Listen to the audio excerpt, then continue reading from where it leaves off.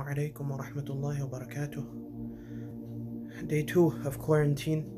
May Allah make it easy for all of us, especially those who are facing even tougher situations around the world. May Allah make it easy for them, and may Allah subhanahu wa ta'ala uh, bless them all with goodness. May Allah protect their families, and may Allah subhanahu wa ta'ala relieve us of this trial and tribulation.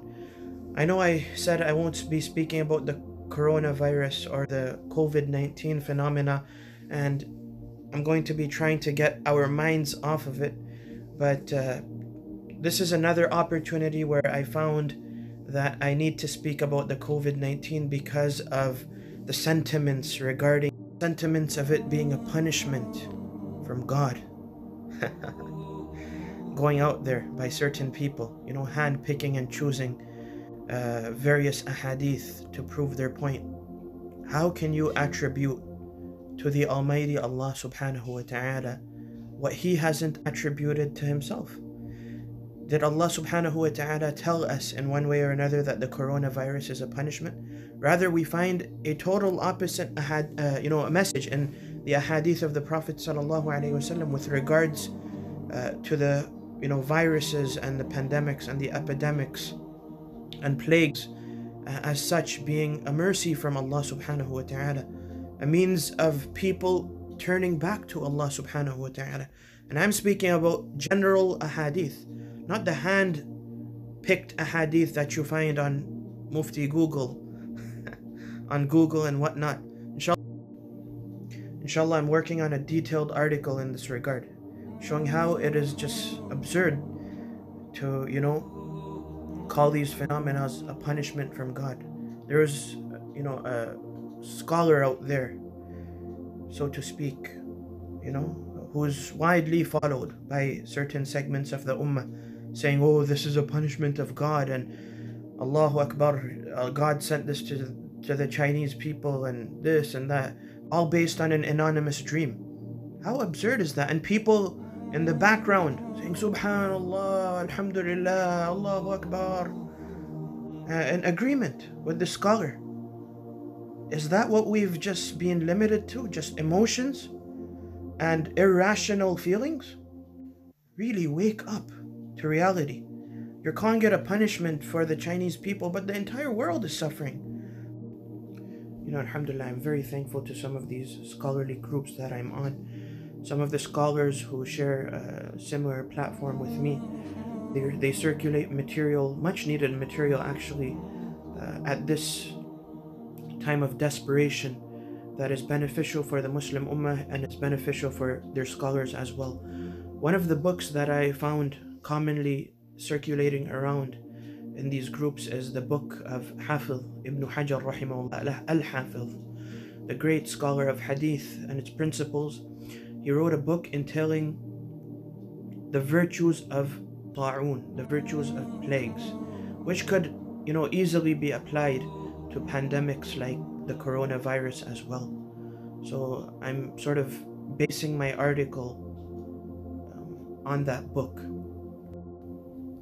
There are certain hadith in his book as well, which basically, you know, with full transparency, I'm telling you, talk about these calamities being a punishment for the rebellious disbelievers. But who's to judge who the rebellious disbelievers are from general disbelievers?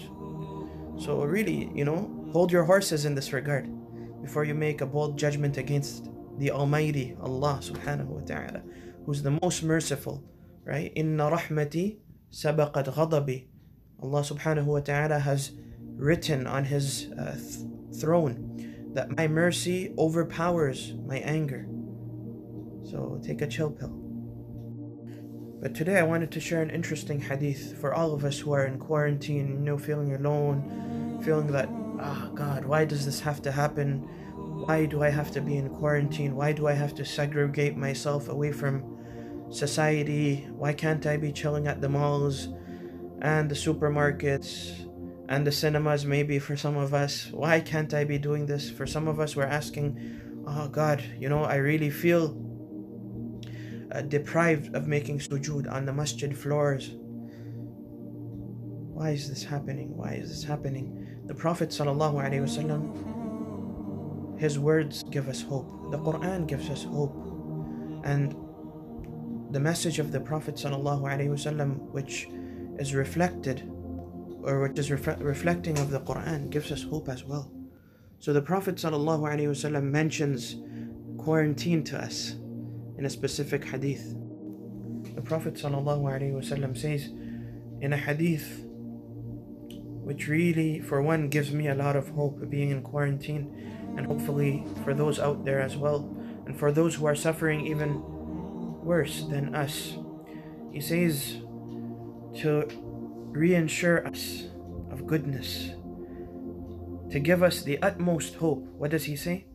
ليس من رجل يقع الطاعون فيمكث في بيته صابرا محتسبا يعلم انه لا يصيبه الا ما كتب الله له الا كان له مثل اجر الشهيد الله اكبر a beautiful hadith i'm going to translate it in the next snap because my time is finishing in this now.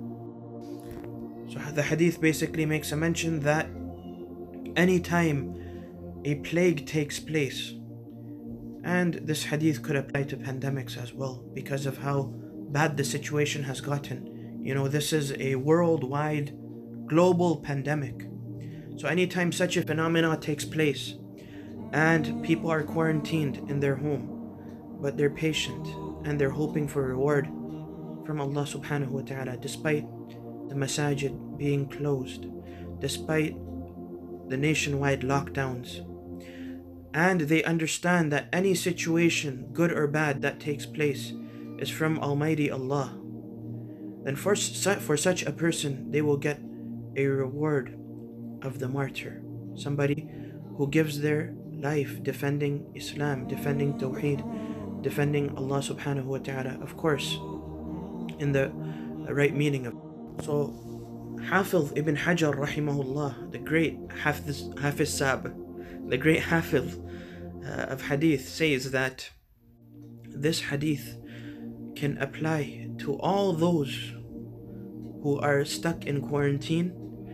You know, they are under that lockdown, they can't leave their homes for fear of the pandemic that is out there. This hadith will apply to every single person. وَإِلَّمْ يَمُتْ Even if they don't die. Allahu Akbar. Because the Prophet ﷺ does not condition death in that hadith. So without you passing away in this pandemic, inshallah, may this be the situation of the entire ummah, all of humanity. Without you passing away, if you're on lockdown and you're patient, you're hoping for reward from Allah, you will get the reward of a martyr.